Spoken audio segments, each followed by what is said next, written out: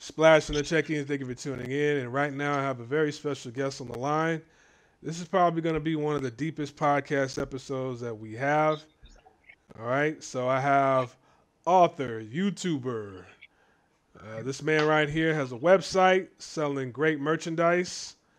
I have with me, you guys know him. His name is Sharp Game, Guy on Girl TV, aka Sharp Game. What's going on? We back, man. With another exclusive. Yes, we are back. Now, before we get into the topic, why don't you uh you know, promote your items, promote your products, promote your website? Just go to chooseyourrelationships.com and you'll find everything there.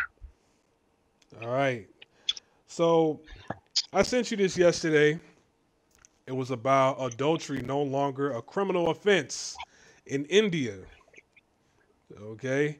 And you and I were talking back and forth on this, and we threw out ideas, you know, back and forth at each other. And it, it turned into something much bigger than that. I was just kind of focused on the law changing in India, but you actually made a good point on how this can trickle over to other countries in Asia. So it starts off by saying India's top court has ruled adultery is no longer a crime, striking down a 108, uh, 158 year old colonial era law, which it said treated women as male property. Okay? Yeah. Not only has stuff like this happened, but it has also overturned a 157 year old law which effectively criminalized gay sex in India. So, gay sex or LGBTQ, like same sex marriage, that's uh that used to be a criminal offense over there. Now it's it's perfectly legal for gay marriages over in India, which I have nothing against that. But it seems like they're getting things in motion not only for the LGBTQ community, but they're also implementing laws to protect women. All right. What are your thoughts on this as far as the adultery no longer a criminal offense in India? Because women that are held down the longest, they tend to wild out a little bit more. It's kind of like a the the pastor's daughter, you know. So, Yeah. what, what's your opinions on this? Well, I think uh, everyone needs to understand, especially women, that it's not really about women. It's much bigger than that.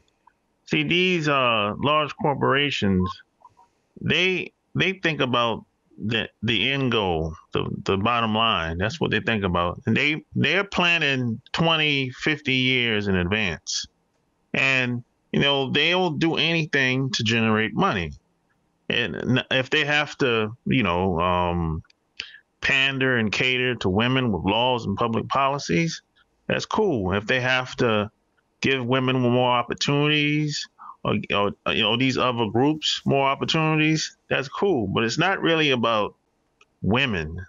See, uh, what a lot of the, the mistake that a lot of women make is they get caught up into in the opportunities and the job creation and the cars, the house, the clothes, and then they break up their families and then they sit around looking all crazy. Like, what just happened? You, you destroyed your family because you thought that you could somehow do it all on your own. And it, it just doesn't work like that. There's a yin and a yang. There, there's a reason why um, there's a balance of, of family, a balance of power. And every organization, every family, you know, but uh, a lot of it's it's really a it's really a mind game out here. Really, it's a game of psychology. But a lot of women don't understand that because you know they get caught up in the glitz and all the shiny objects, and you know before at the end of her road, she's like what fifty or sixty years old, and she sitting in that rocking chair by herself trying to figure out what just happened. Mm, yeah. Al- It's sad. It also goes on to say previous previously any man who had sex with a married woman uh, without the permission of her husband had committed a crime. But this goes both ways. So if the woman Yeah. had sex, if she but if she was in a marriage and she had sex outside of her marriage with another man, you know, some of these women, you know, that was breaking the law, and you know, the in the olden days, like some of these women were stoned to death. Uh, Yeah. there were videos before of women being whipped in public, public Yeah. humiliation, and this was recent. This wasn't like you know decades Yeah. ago. This was more recent, like within the past like two three years, where women on the internet were getting whipped uh, in public because they uh, committed adultery.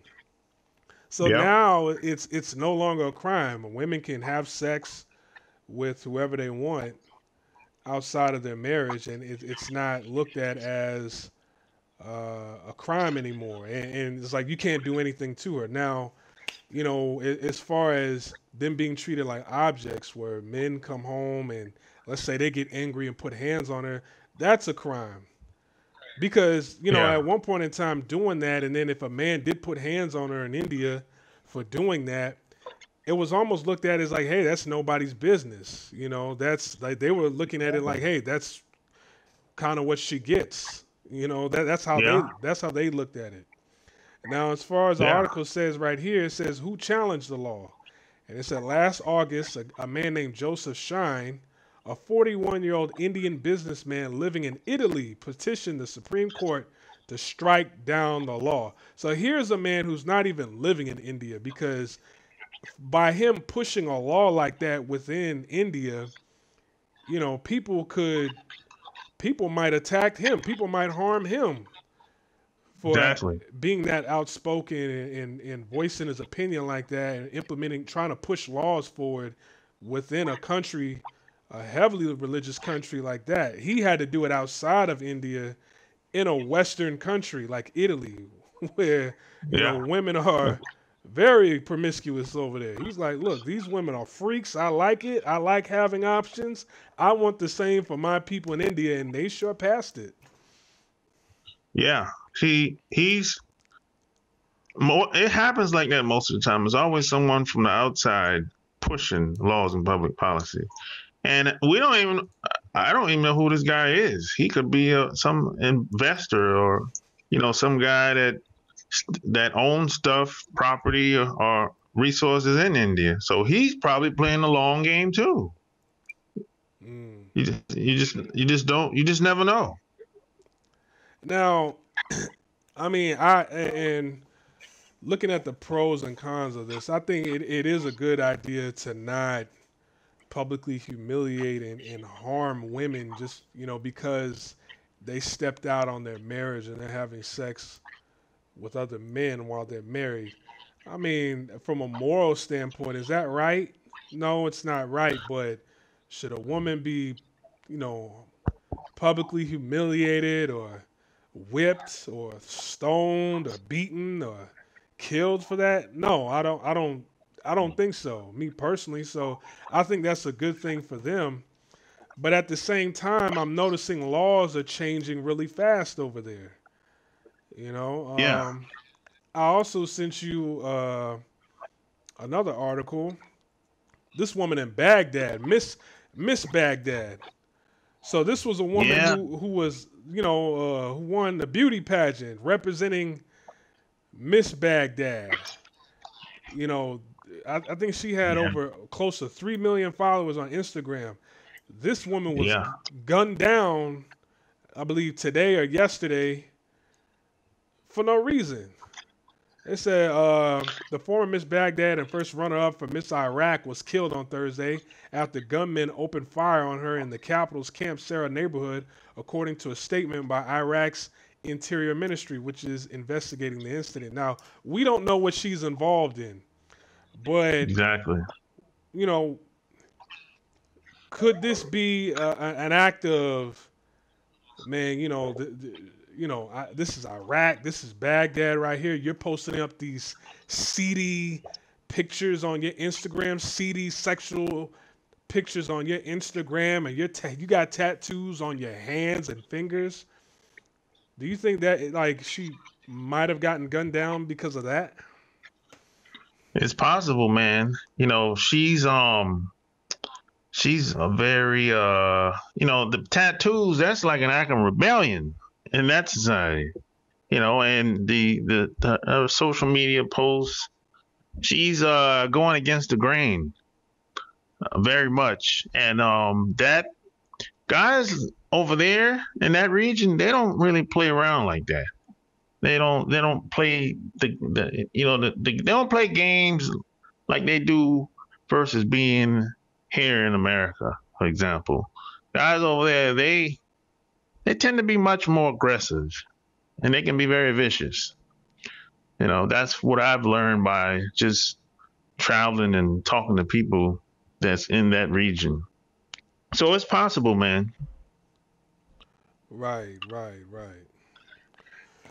Now, with the laws changing, all right, uh, I remember last year, uh, one of my homegirls, she told me that Thailand, because for those that don't know, I live in Thailand. She told me that Thailand is the experimental country.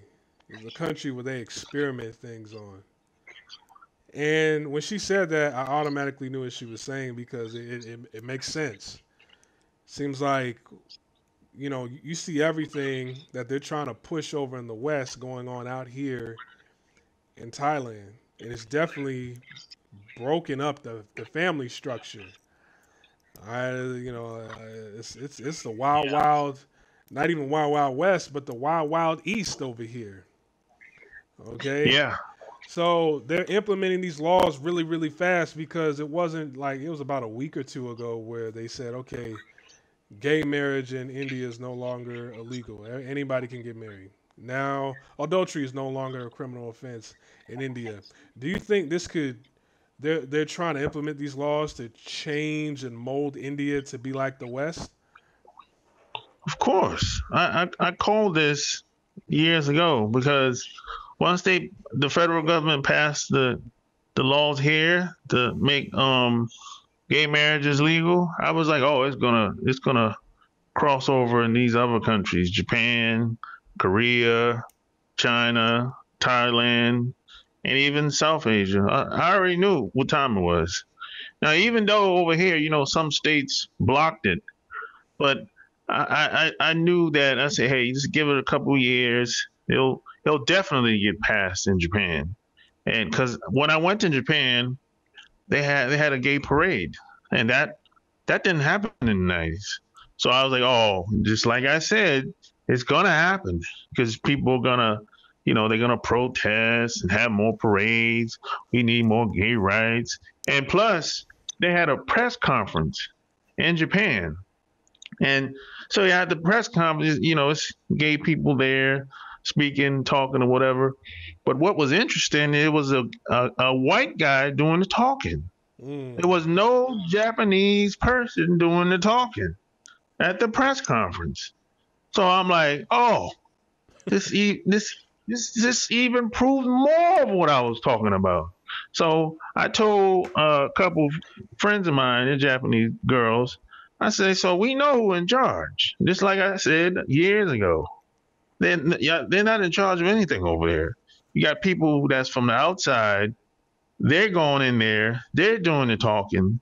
They're pushing these laws and public policies. So I wasn't surprised at all.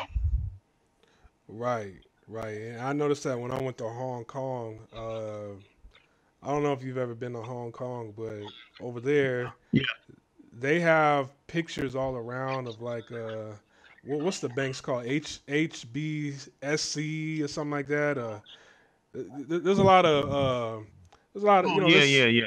There's there's several families there's several families that own the banks over there in Hong Kong, and they have pictures like big billboards of them standing on like you know grass with their family, and there's always a white guy standing behind them. It's like two families that have posters like that. One is like HBSC, and there's another one. I forget the household name. Something like yeah, that. household.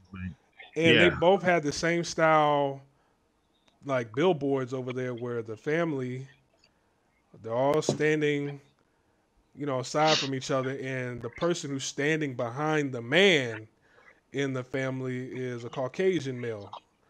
Both. Yep. both both pictures. And he's not standing yep. on the side of them, he's standing behind them. So Yeah. Yeah. So like you said, like we, I saw that back then too. Yeah, and um, Capital One basically built half of Hong Kong, basically, really, along with a couple other banks. So yeah, you know, and when you turn on the television and see all see a lot of these commercials, you, you see the same thing. It's it's always it's going to be either a Japanese guy or a Caucasian woman. It's it's like never like never uh, a Chinese woman or a Japanese woman. It's like never. Now, any major uh, endorsement, uh, company, or product could be sports. I don't care what it is. It's like never uh, a Japanese girl. Like ne- I've never seen it. You know, I, I'm like, why is that? And then I asked some people. I said, I said, I said, hey, you don't think anything wrong with that? Uh, You know, you don't think the Japanese women should be displayed along with the Japanese guy in the commercial? He's like, well, you know, yeah, I see your point, but you know, yes, that's that's the end of that conversation. Yeah, yeah, yeah. When you when you come out here in Asia, when you hear that, well, you already know what time it is when you hear that well. It's a very Yeah. high pitched well. It's like, eh, eh. Yeah. Oh, they don't know what they don't know know what to say. They just won't say anything. Now, from what I see, it's like I don't like what what I see right here, and we've seen this in America. All right, um, a lot of women who are outspoken the most of feminism are really women who are not accepted in society as like a uh, you know, we we used to have that old saying because you know America used to have uh, rules and a, and a code in America at one point in time. You can't turn a hoe into a housewife. You know, a lot of hoes. and, and, and, you know, you had a lot of simps out there. They were wifing hoes anyways, but it was like a lot of these hoes out there were mad that you know nobody that they wanted wanted to take them serious. That nobody wanted to wife them. Like, hey, you're not wifey material. It's like it, you, you can't just choose when you want to be a wife after being a hoe and you can't get mad. That's just how the game works. So you got a lot of women now that are outspoken about that, you know, the slut walk and everything, and it's turned into something else. But now hoeing is like acceptable. So it's like now, you know, it, it's it, it's almost like the norm now to turn hoes into housewives. You know, and it seemed like some of these women that they felt like they've been held back the the hardest. You know, they've been held down and, and, and controlled the hardest have been the ones that have been more promiscuous and outspoken about uh, being accepted as you know uh, a hoe or whatever, or to be a housewife from a hoe. Now, I mean, in India, the laws have changed now. Okay, one of the laws that they implemented that they had in place before was uh, it did not allow women to file a complaint against an adulterous husband. So if the husband st- stepped out and was fucking a bunch of women, it was against the law for women to file a complaint or to get a divorce from her husband that was fucking around like that. Now that this law Yeah. is in place, I mean, I, I- think that when women have been held back for so long and, and at you know to that extreme, usually stuff like that that happens, they tend to wild out the most. You know, do do you think that could happen? Because I I seen that in Thailand for the longest. Yeah, I it, I think it really depends. Depends on how much.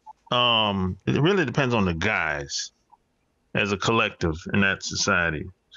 So regardless of the laws, see, all laws have to be backed by force, and some guys have the mentality like, hey, look, I don't care what the laws say.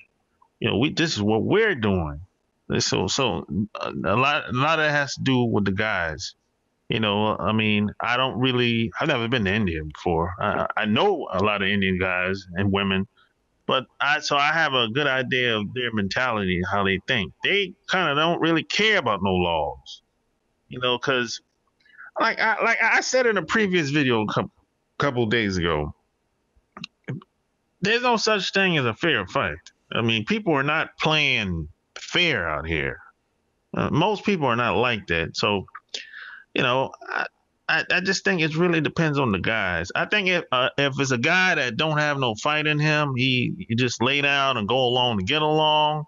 Yeah, these laws will the laws will affect those guys, the beta guys. They'll affect those guys. They're just gonna go along with it, and regardless of how much they get taken advantage of and get taken to court and get child support and alimony and all that good stuff, you know. So it'll affect those guys most definitely. But there's always gonna be some guys that's just going to rebel and say, hey, they're going to make threats and they're going to do what they got to do not to get sucked up into that uh, debacle.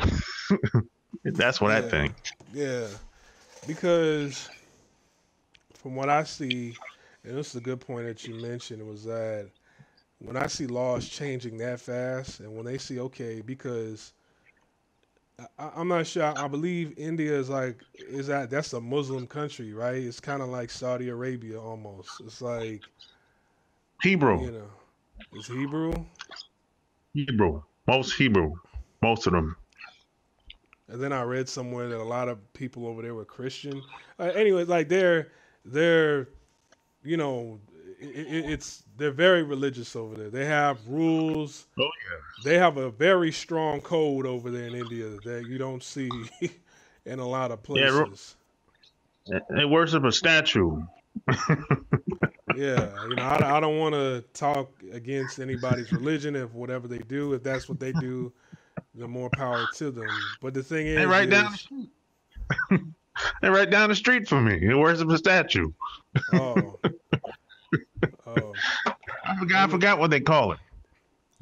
But but the thing but the thing is, it's like when I see this going on, I think you know because this is what I saw in Thailand. You know, Thailand. You know, they they had it, it was a there, there was a strong code over here, homogenous society. Um, you know, they were very heavily into their culture Okay, you you yeah. you see culture out here. Like in Korea, you might not see it that much. Like whatever they have left of their culture, they use it as uh, for for tourism. That's all. Out here, they don't yep. use their they don't use their shrines or their temples as tourists or for tourism. No. They use that because no. they're serious about it. You dig? And yeah. The thing is, is what they do is they open the floodgates up for the West to invest into property and restaurants and malls out here. So when you um, when you import items over here, then they tax it so that they can make a profit. And then a lot of shit over here is more expensive than what it is out west. All right, and then you don't uh, give them a pay increase in salary so a lot of times that leaves women to have to be like, well, fuck, you know, these foreigners are coming over here. So I could just get into the sex industry over here and make a killing doing this besides struggling when, you know, I see Louis Vuitton and Gucci and uh, Victoria's Secret, all these name brands coming over here, and people when they want a piece of the pie, that destroys the family. You know, opening the floodgates, yeah, you know, sure. You you you can get a computer, you can get an iPhone, but at the same time, like it's really uh, kind of messed up the family structure out here. Now, I think that could happen over there in India as well. By the way, some of these laws are going. Like I said, I think it's a good thing to protect women, but at the rate that they're pushing out these laws, I could see it turning into a Thailand. Yeah, it's already happening.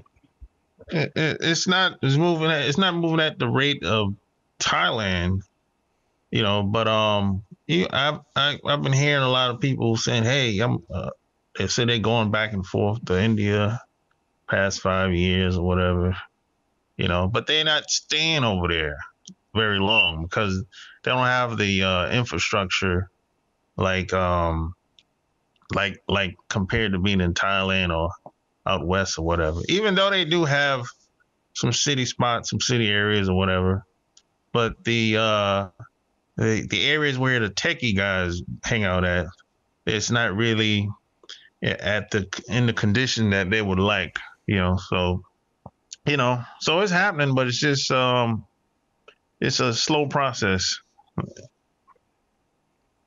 Right, right. Another thing you said that uh, by how fast and rapid the things are changing over there, it can have an effect throughout Asia, where Yeah, um, when they see that okay, this works over here, then we could try to do the same thing over here in this country, in this country, in this country. And I find it very interesting that you said that the announcements that were they were making over in Japan, uh, you know, about uh, you know the gay pride parade or whatever, and some of the laws that they were changing over there, that it was a white spokesperson that was saying yeah, that. I find that very interesting. Me too. At the time, I I I, I was you know because somebody sent me. Actually, the article was on uh Japan Today dot com. And um somebody sent me sent it over to me. This is like last year. And uh I'm like looking this for a video or something like that. But they just uh wrote an article and posted a picture of this the speakers. So I'm looking for the Japanese person, a Japanese woman or a guy or something like that. No, it was just a Caucasian guy. It sounded like he was from somewhere over here, you know. So I'm like, well, what? So I'm like, well, I guess we know who's in charge. You know, if he, he's doing the talking, he's representing for somebody, for some corporation or some organization, you know. Right, right. And you know, I, I've been hearing about, uh, you know, they've been trying to, you know, get this population control down packed, you know, for the longest. You, you know what I'm saying? Yeah. And um, I believe that you know, feminism can be used as a weapon. You know, I, I think feminism is for women that are going through some of those things like they're going through as far as uh, getting abused or not being able to report or, or file a, a police report on their husbands for stepping out on them. You know, I, I think that's feminism. That's feminism is for women like them. You understand? Feminism is for women who've been raped and then they said something and nobody cared about it. Feminism is for women who have been, you know, physically abused and, I, i'm all for feminism for women like that so i think women in countries like you know in india they have a legitimate gripe, but I- I'm, I'm wondering how far will they take it especially when you have uh, events going on in japan and it's like a person of the country isn't even speaking up for people of the country you, you dig what i'm saying Yeah. so how far will they take feminism in India. I mean, they might have a slut walk pretty soon. Yeah, I wouldn't be surprised. I think they'll take it as far as they can, really, because you know you have a lot of, unfortunately, you have a lot of broken women that have had that went through some tragic experience, and they're being exploited for you know profit, and you know they'll use these women to the fullest. Right, right. So yeah, that's a good point you brought up. Now, another thing you said uh, yesterday was uh, it could get to the point where they're going to start taking opportunities from the guys and giving it to the women. Oh yeah. That's Explain, explain that. yeah, that's like uh that's been going on my goodness for, for hundreds of years. Basically it's like this. It's a simple concept really. If you want to destroy the family, if you want to create strife between the males and the females in any society, basically all you got to do is switch switch places with, between the sexes. You want to take resources, take opportunities from the males, and shift it to the women. And and what's that's going to do? That's going to create uh, a cycle of chaos, basically, because, what's going to happen. Is a lot of these guys and that society are not going to they're just not going to make it. It just because they don't don't have the mental capacity to make it. They don't have the skills. They don't have the drive. Don't have the determination. So i'm to say a good 40 50% of these guys are just not going to make it. They, they it's going to the struggle is going to just be it's going to be just too much and then you're going to have the women they're going to have more opportunity and she's gonna be looking at him funny style now because she's gonna be like, "Well, what happened? You used to do this, and you used to do that. You don't do that no more. The kids need this, the kids need that, and they're gonna be bickering back and forth. And then, um, then you then you got to put the media gonna come in with the, the magazines, the television, the marketing, the promotions, and then they come out with the books and they come out with the shows and they come out with the movies and it's going to pander towards women uh, feeling empowered like they like they're special. And that's going to make them treat the guys even worse now. And and then it's going to be going to get to a point where it's not going to be about family anymore it's going to be about living a lifestyle living a certain type of lifestyle now. And then it's going to move on from there. It's not going to be about love anymore or how you feel about the person. It's going to be it's about a transaction. And it's going to be on and it'll morph and go on and on. And then it's going to from there it might go to what it is now. It's about it's a hey, it's it's not about the gender, you know. It's it's about love. So I, I know I'm a woman and you're a woman. I'm a man and you're a man we can both love each other. It's about the love, right? We can be together, right? And so that's what it is now. So so so then they come out, then people start saying, "Hey, man, it's no, it's, it ain't it, being. Forget your gender. It doesn't matter. We can still be together." And that's when the, the new laws come in. So you guys can get married now, same-sex marriages, and it goes on and on from there, and it creates a a a a, a, a, a group of confused, backwards thinking people in society, man. I know in uh in uh like I, I've talked to a lot of women out here and some of the women that were single, they were young women, attractive. And I asked them like, damn, how come like you guys are single? Like what, what's what's what's the matter? And what they told me was like they were like, you know, some women they told me like, you know, I own a business and you know that's totally looked down upon for women to own a business out here. So I, I think as far as you know, it, it's it's it's definitely it's not my culture. That's their culture. You understand? Yeah. Like culture is all about the inner thoughts of people. That's what a lot of people don't understand. It's like, you know, you got people like I, I did video reviews of uh, you saw me do it of uh, Sky City, right? And yeah, his whole channel is talking about Korean culture, but he hasn't said one thing about Korean culture. You know, you when you scratch the surface, you're just talking about the food, K-pop, and that's it. Just being over here, living your best life. But that's that's part that, that's that's only a small fraction of what culture is. Culture is about the inner core of people's thoughts, thought patterns, how people collectively think out here. And uh, at times, I mean, it's been that way for so long, you really can't change anything. Now, as far as these laws being put out, I do think women should not be harmed for uh, owning a business or not. They shouldn't be looked down upon for owning a business. I don't think you know, women or men should be criminalized for having sex outside of their marriage.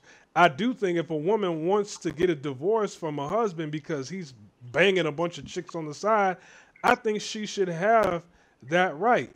And I think, you know, if, if people that are gay or homosexual want to get married, then I think they have that right as well. The thing is, is I'm just looking at it from a standpoint of, all right, this is coming so fast. Is there a hidden agenda behind it?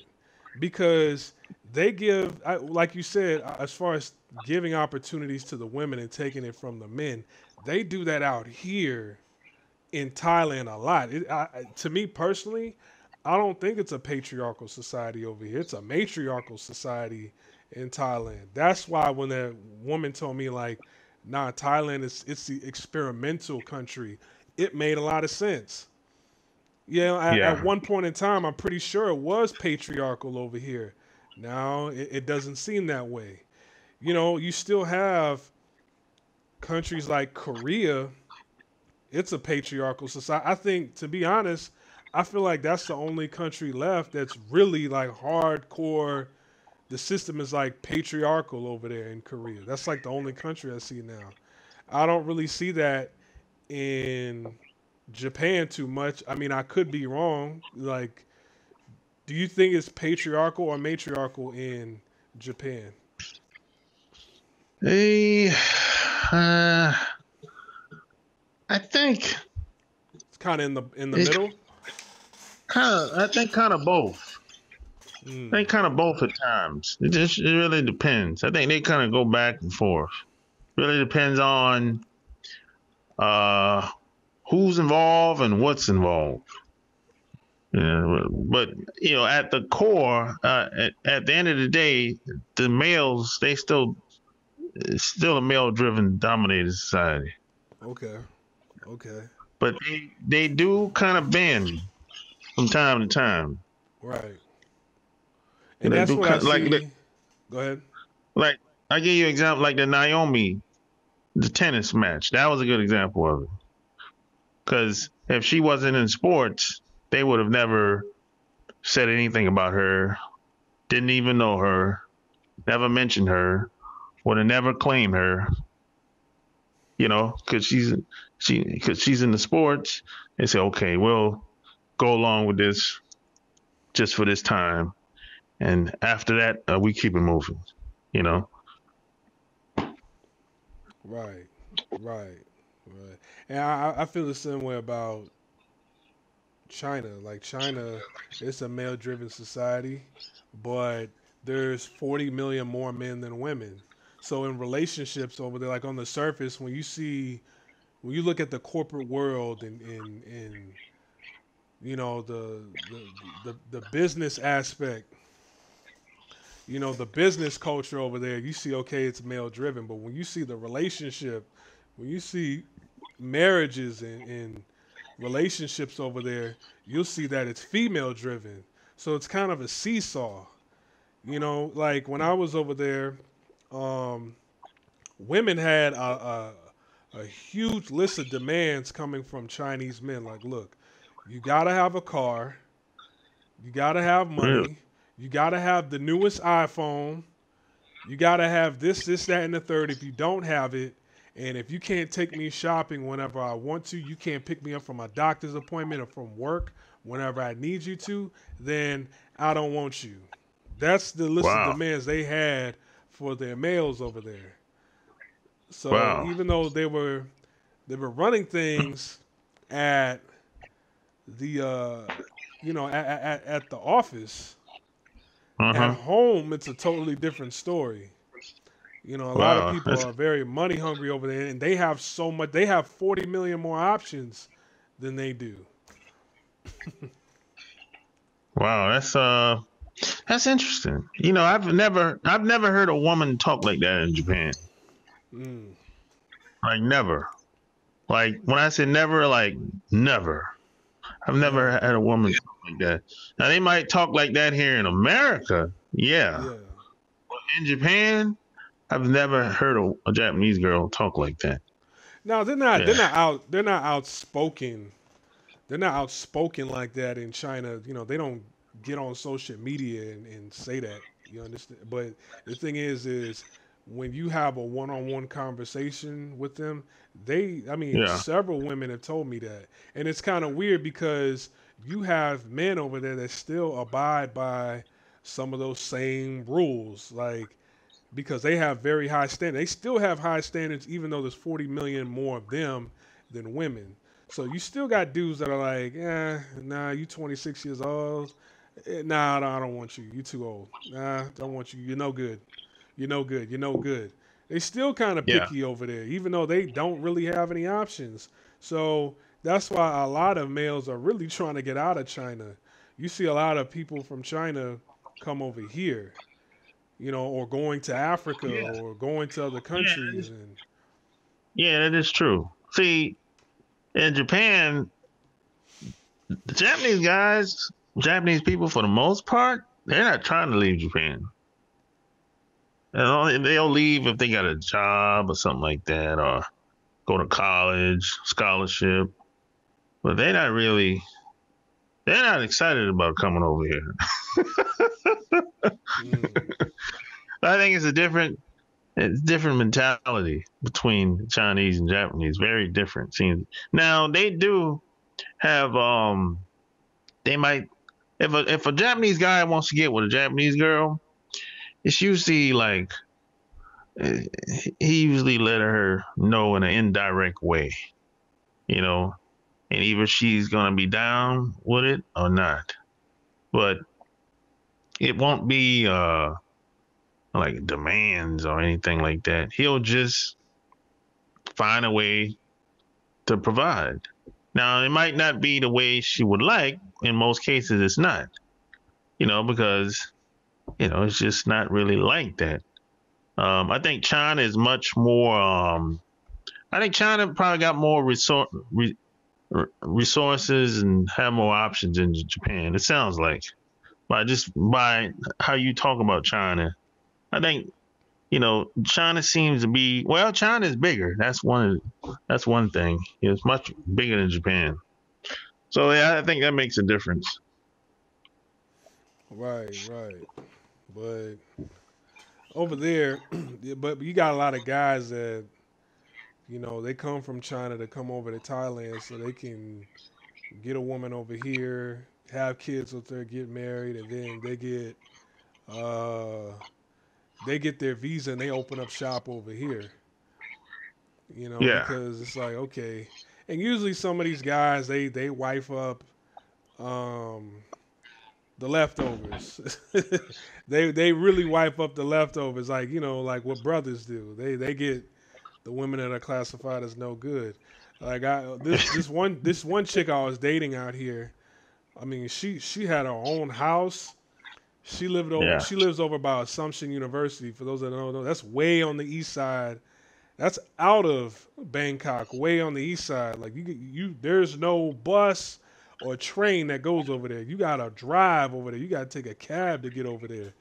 And uh, she, she had her own house, real nice house, spacious, nice car. You know, she used to pick me up and drive me everywhere and uh, you know, she was telling me about her life. She was like, "Yeah, you know, my mother is, a, you know, is a single mother. My father ran out on me, which the, the father was Thai. So you know, I'm telling y'all that that single parent home is, is rampant out here.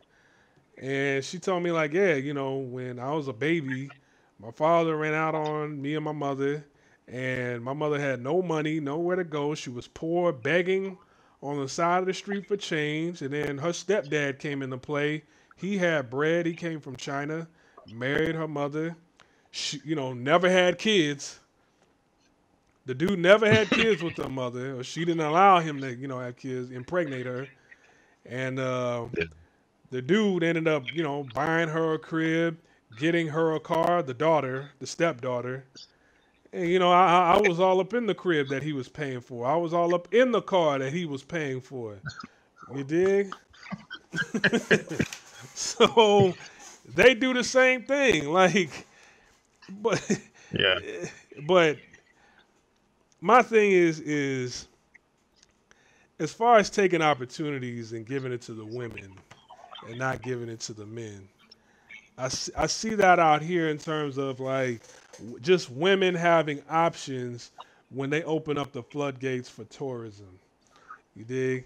And you don't really see men and women together like that. And if the, the men are with women, you know, in public, you know, you hear some of these women talk about how clingy their dude is. You know, uh, you hear that all the time in Thailand. The men are clingy. The men are clingy. The men are clingy. It's because it's it's a lack of trust that's out here. It's like I don't know where my girl is at. She could be out sucking dick for 700 baht right now, for all I know. That's why yeah. the men are extremely clingy because he can lose his woman to the game at any second. oh yeah, that's true. You know, but I mean, hey, she might go out and do something strange for a piece of change and come back home. yeah. so hey, I'll be like, hey, buddy, I don't want her. I don't want your woman permanently. I just want her for you know an hour or two. That's all. yeah, yeah, and that, that's what people are afraid of over here. So, I, as far as some of these laws, let's get into the pros and cons. Okay, what are some of the pros behind laws like this? Because, like you said, man, they're implementing some of these laws in India. They're not bad. I mean, they could, you know, turn into something else you know, but it's going to tr- have a trickle effect in other countries oh, yeah. out here. So what are the pros what are the pros behind laws like this being implemented all over Asia? Well, it, it's it's good for business investors. You know, they can go in the, places like India, maybe a company like Google. You know, they or some other investors might go in there and you know they'll open up shop you know and um, build around that business and um you know they'll so it's good. I think it's good for business if you're a foreigner. Now it it is almost never good for the locals. Almost never. I've i don't see I, I've heard horror stories, you know, because people get the land taken, get the house taken, or they get bought out, or, they, or if you don't sell, they'll find a way to get you up out of there, or find a way to get you off the land.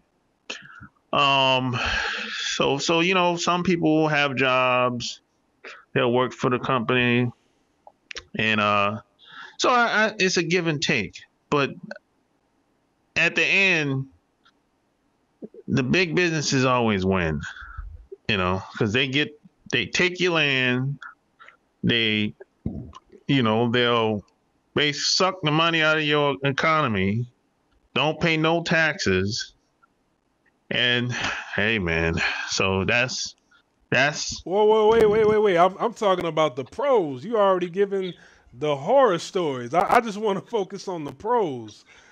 Do you, okay, oh, yeah. number one, you said it's it's good for business, right? Yeah, that's the pros. Yeah. Okay. Uh, I, a pro that I have is uh, it does protect women because, like I said, man, you know, I don't think no woman should be. I don't think a woman should be shitted on for owning a business out here. You no, know, I, I, don't think you. A woman owns a yoga studio, and all the men are like, "Man, fuck her." You know, you're not like you should build with her. You should be happy. Like I think that's a good thing. yeah, but they don't. Well, they they in the old way of thinking, you know, that's that's how they were raised. So I, I understand. So you know, I don't right. necessarily agree with it, but I understand. You know, the, I mean, so these laws, good. these laws are. I think they're going to change the thought patterns later on because some of this stuff that they're putting out there is going to change the culture of Asia forever. Yeah, that you know, that, the next generation, that's where you're going to really see it. Right. You right. know. Yeah. You know, because so this, this is because when the when the new generation comes up and they see these new laws and how everything is normal, they start to, you know, uh, they they start to you know kind of point the finger at the older folks like, you know, what the hell is wrong with you? Things are changing. You're still stuck in your old ways. Like, oh, she's just still stuck in her old ways. And the youth yeah, always wins at the end of the day. When you have control over the youth, you have control over the future. yeah, and and and any society that's how it usually goes because it's usually a rift between the the young and the and the older people, and a lot of times the older people see the big picture, and you know the younger people see today and what's going on right now, and they can't see 10, 20 years from now because they're just too young. So that's where the rift usually occur at, you know. And by the time 10 or 20 years comes around, you're not even going to be thinking about what your mother and father used to say. It's kind of like, well, I mean, this is the normal now. This is the norm now. Well, they, by that 20 years go by, your parents is dead. So Yeah. you be thinking that, hey, man, you know, they did have some good points. Maybe, maybe I should have listened what they were saying. And then you be saying that, man, that this is what they were talking about. So, yeah, True. you know, I can I can relate to that. True. I can relate to that. You know, Because then, then but they're going to be under a new program. It was like, damn, the old program, you know, my mom and dad was talking about, it made sense. Now I'm under a new program and I can't seem to shake it. yeah. So, and and and the thing about that, and when it's time for you to have you to have kids, or or maybe you're thinking about having kids, Uh, and then you like, okay, I gotta, I gotta like, you know, I gotta find a way to reinvent myself to get out of this, because I don't want the next generation to get caught up as I did. it'll, so it'll be you- too you- late. Yeah, It's too late. Yeah, I mean, hope, well, well, some people make it happen, some people don't, but it's it's tough because you got people around you. They're thinking, their thinking is going to be different from yours. So this is where a lot of the peer pressure comes in. At people around you, they're telling you one thing, they're looking at you funny style. You be like, "Yo, I'm going over here. I'm doing this." They be like, "What? Man, that don't work, man. That's too hard." you know, so that's why a lot of people don't get anything done because they don't have no support. There's, there's people are bashing them. They don't no good word. They don't have no. You know, it's like so. Some people be like, oh, I just give up and I just keep doing what everybody else is doing so I can fit in. right, right, right. I think another pro, another pro is, I guess, for uh, a lot of you betas, I mean, males out there uh, that are thinking about coming to Asia. You know, from what I see, is like, you know, if things are changing like that. I mean, I, I mean, I don't think they're changing that rapidly to where it's going to happen within the next five years.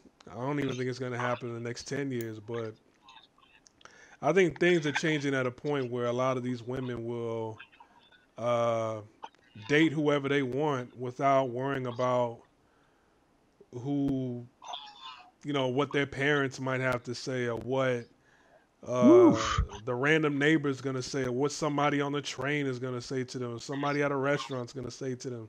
That's kind of the main thing that a lot of brothers are having issues out here. You know, you're meeting women, you're trying to connect with them, and they like, yeah, I mean, you, you know, I like you, you, you know, but I, I can't be seen with you in public. Like, I, it would, you know, I have more to Yeah. lose in the game being seen with you like that. So this ain't really gonna work. They don't tell you that, but that's kind of what they're Oh, going yeah. through mentally. So this will, Yeah. these new laws will probably alleviate that. Uh, I it depends on the dad and the family. Nah, it don't matter no more. With these new laws, it, it don't matter no more. No, some like I said before, some people don't care about no laws.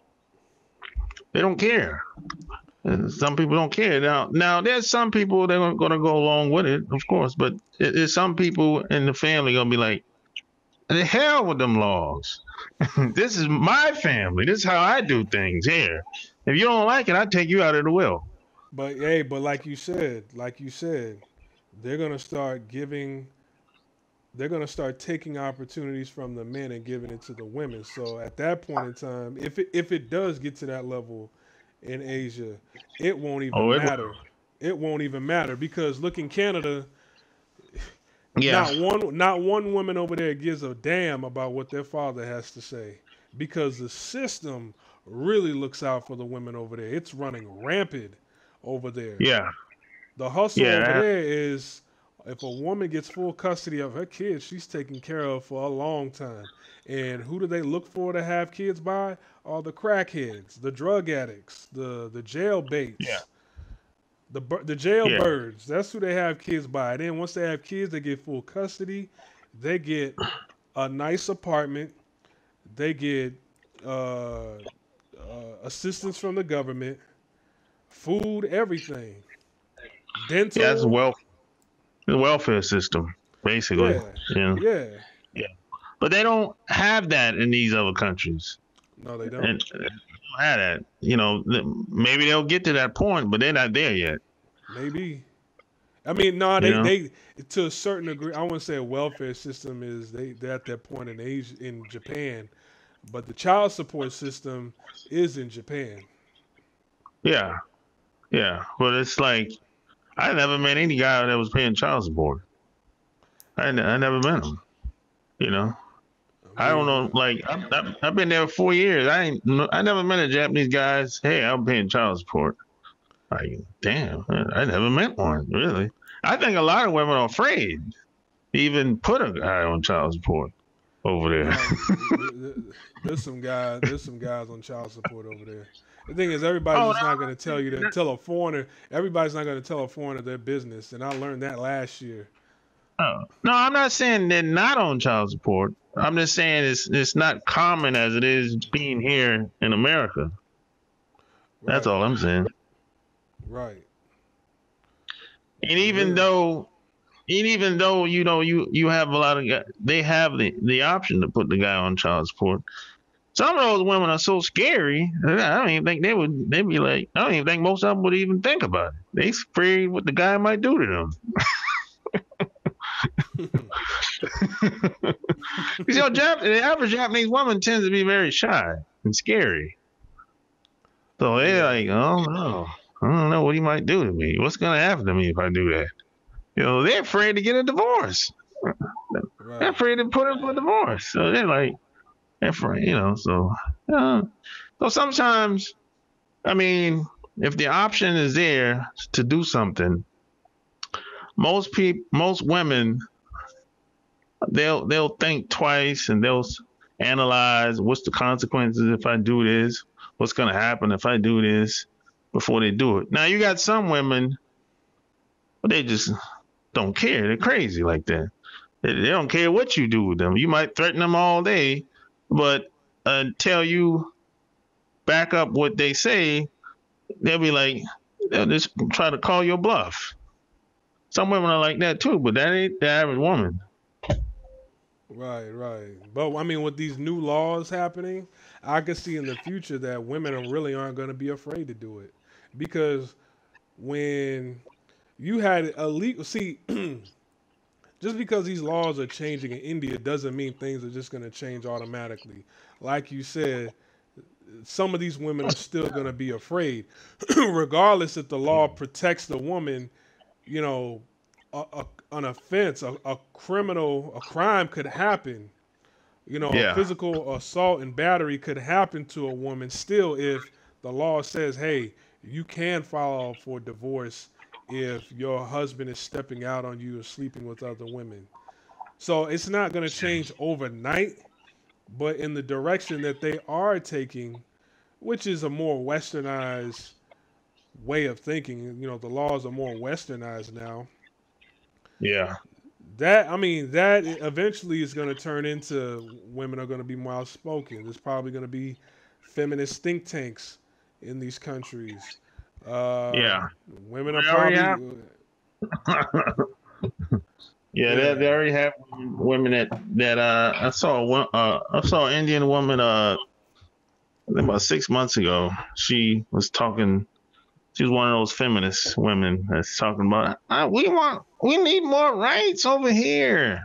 Mm, Well, they're already over there. But uh, but you know the funny thing is you brought up a a, a, a um a point a couple minutes ago that a lot of these women that are so-called feminists, they're not guys don't really want to be with them, and they don't want anything to do with a guy anyway. In most of the most cases, so I, I think if if if these women were so in demand for men, I don't even think they'd be talking like that. I think they they they're coming from a place of uh, rejection, yeah, frustration. Right. Yeah, they, they they they recruit they recruit some of these women. They they get to recruiting. You Yeah. know, when you look at Amber Rose and that slut walk. Oh I God. mean, she got these little young girls on smash. You know what I'm saying? They, they getting the new Yeah. generation. They even getting the women that's around her age, and the media is promoting this heavy. Oh yeah. Uh, so, Yeah.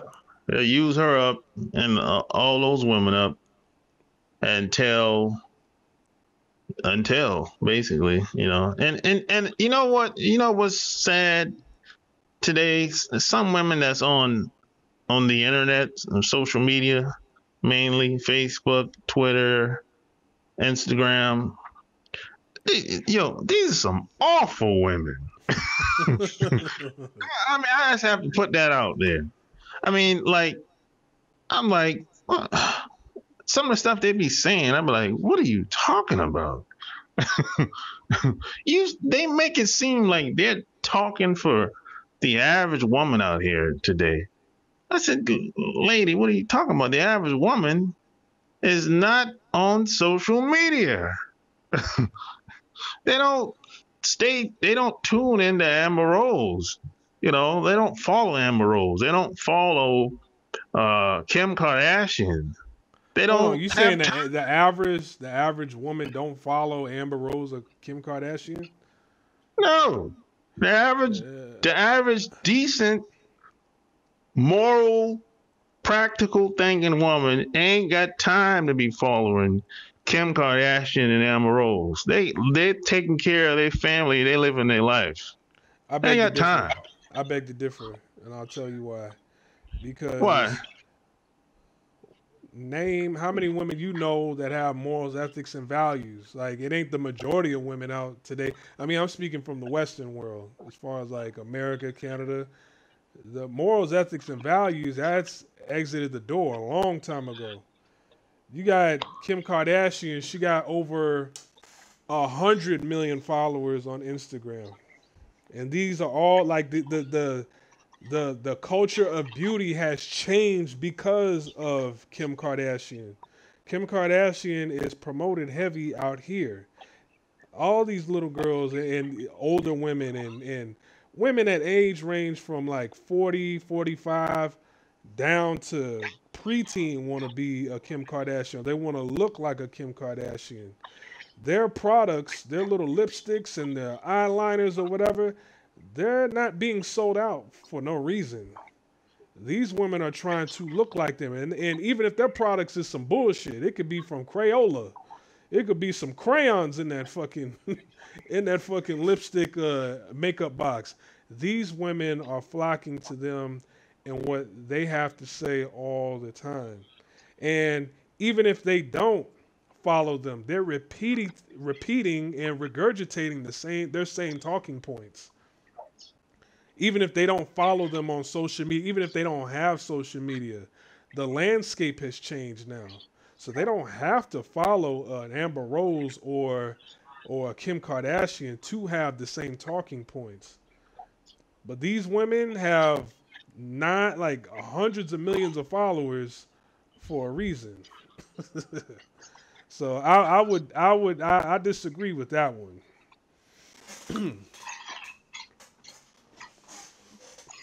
because women women of morals, ethics, and value, hoeing wouldn't be the norm now if these women out here had if the average we're talking about the average woman has morals, ethics, and values. Because if they're not following um, if they're not following a Kim Kardashian or Amber Rose, they're following some raggedy bitch from Love and Hip Hop. They're following some raggedy bitch from uh, husbands or uh, housewives or basketball wives or insecure, scandal. They're following some raggedy bitch somewhere else. So when I say Kim Kardashian and Amber Rose, I'm not just talking about them. I'm talking about women like them with a following too that a lot of these women are following and repeating the same talking points because hoeing is the norm now. Hoeing was always going on. It's always going on, but it wasn't the norm. It wasn't the norm. Hoes you know, back in those days, dudes will kind of slip off and fuck with a hoe and you know tell her like, hey, you know, you don't come around, you don't. It was a secret to mess with hoes unless they were in that environment to mess with a hoe, like Studio 51 over in New York and some shit like that. They wasn't, you know. they wasn't marrying these hoes and promoting them and putting them all out on blast on TV and taking them on vacation and putting them on a pedestal. Or they couldn't. Even if they wanted to, they couldn't. They didn't have the media. They had an option to. But now they do. So the the landscape has changed. I remember I uh. remember growing up, being a hoe would get you ran out of the neighborhood. Being a hoe would get you ran out of the neighborhood. Being yeah. a hoe, you had to switch schools. Your family had to switch schools for you if you were a hoe, or if you did something that was perceived as hoish, which now is just the norm. Back in those days, early 2000s, 90s, if you were a girl and people found out you sucked your dude's dick, pause. That you gave head to your dude and other women knew about it and other dudes knew about it. Oh no, you were you were ran up out the school. no, they I never seen nobody take it that far. They just they shamed them. But I never seen no. They didn't leave school or nothing like that. I never seen nobody take it that far. I just shamed them or made fun of them. That's about. Yeah. That's all I saw when I was growing up. But I, I don't know. I'm gonna say I don't know too many women. Personally, I know a lot of women across America. Mm-hmm. I don't know too many women that talk about Amber Rose and Kim Kardashian. I'm not. Now, I'm not. I'm not specifically talking about them. That's not what I'm saying. I'm not specifically. Sure, yes, I'm talking about their following and them. I'm not specifically talking about them. Let's take them out the equation. But their talking points, their talking points, that dysfunctional talking points that they've been promoting, that they've been yeah. pushing, because the slut walk ain't Amber Rose's slut walk. That shit started yeah. in Europe, I believe. All right, yeah. their talking points, whether it be from an Amber Rose or some raggedy bitch from Basketball Wives or Love and Hip Hop or wherever they are uh, displaying hood rats on television at, the average woman has the same talking points as these dysfunctional women that are put up on a pedestal in society today. That's what I'm saying. Uh, I don't know about that. I don't know about that. Now, there's a lot of women out here that talk like that. I, I know some. I know a lot of them. Mm-hmm. But average, I don't know about that. What's the average woman talking about then? Because it can't be talking about marriage because 60% no. of, of people are getting divorced in in America, talk- and they're not even talking about getting marriage. And a lot of these women are having babies out of wedlock now. They're not talking about anything. They just work exactly. their job, go home, uh, go to the basketball game or football game, take a vacation every once in a while, go shopping. That's about it. Exactly. These hoes ain't talking about shit today. They're not talking about anything. That's Really? what I'm saying. That's you, you- you're you're proving my point. That's what I'm saying. These hoes ain't talking about shit today. So, but they don't. But that don't necessarily make them b- bad people. Just because they don't, don't necessarily make them like the have the uh, I guess the mindset of of a lot of girls that's in so, on social media though. They just a lot of people just don't know. Uh, that's what I found. A lot of people just don't know. A lot of people are have bought into the you know what somebody told them. They don't do research. Um, they're confused, so they just go along to get along. It's Nah, you know it's I- not I, like I, I, I'm not saying that they're a bad person. Like, uh, you know, I, I- don't, I don't hoe, I don't hoe hate. You know, just because a hoe is a hoe, don't make her a bad person. You know, uh, I mean, I, I think a, a selective hoe is a bad person. Now, that's what I think. I think selective hoes are bad people. what's that? What's that? What's a selective hoe? That's like that's like you going up in a Walmart and they tell you, nah, you black, get up out of here. We don't we don't serve blacks over here. We don't serve short guys over here. We don't serve tall guys over here. We don't serve guys that drive a Honda over here. We don't serve guys that live in this neighborhood over here. You know what I'm saying? These hoes, there's a lot of selective hoes. Like a hoe is, a, you know, you supposed to when you open up shop, that shit is supposed to open up shop for everybody. Not be like, uh, you know, I'll accept money from you, but you over here, nah, I, I, don't, I don't want you, nah, nah, nah. You you a little bit you you a little bit froggish looking, nah. That's selective hoeing. I I can't stand them hoes. No, they call they call that renegade horn. that's what they call that. that's like like the that's horn on the weekends, basically, or after work. Nah, that ain't that ain't that ain't horn on the weekends because on the weekends when if you open from nine to five, you need to take everybody that comes along in single file order from nine to five. You know, don't I show up at your door bright and early in the morning. You like, uh, nah, you step out the line. I, I'll take the guy behind you. That's what I want. Like, damn, what's wrong with me? That's what I'm talking about. Selective hoeing. I, I don't I don't like them type of hoes. You're bad for society, you're bad for the economy, and uh shit, I Yeah. That's the majority. That's the majority of hoes. un- unfortunately. Yeah, that's the majority. You know, even a well, shit, even a prostitute, uh, escort, they don't take anybody. Well, that's what that's what I was referring to. I was that's that's what I was talking about. Yeah, even they don't take every- everybody because you got some women that uh they don't call themselves escorts or, or you know, but they but every but they demonstrate some type of whorish activities from time to time. So Yeah. The lines know. have been blurred. You know, I remember when calling a woman a hoe used to sting. You know, you call you you hoe? Like, oh, don't I'm not a hoe. Don't you disrespect me like that. I ain't no hoe. I remember calling a woman a hoe meant something. You know, you can make a woman cry by calling her a hoe. Now, oh man, they wear that like, you know, a badge of honor. Yes, I'm a hoe. I'm glad you Yeah. noticed. yeah, right on good. I don't know, you know. Yeah. Uh, but I think all right, the, the the cons to this really is the dysfunction that goes on in the West. It's it's gonna happen in Asia as well. The, the worldwide, it's gonna be whatever they're going through out in West, child support, alimony, uh, you know, kids out of wedlock. That shit is gonna happen out here eventually. Yeah. Yeah, um, I don't think they want it to happen though, but it's it's gonna happen. You know, What what they gonna do? Yeah, I mean, it ain't but so much.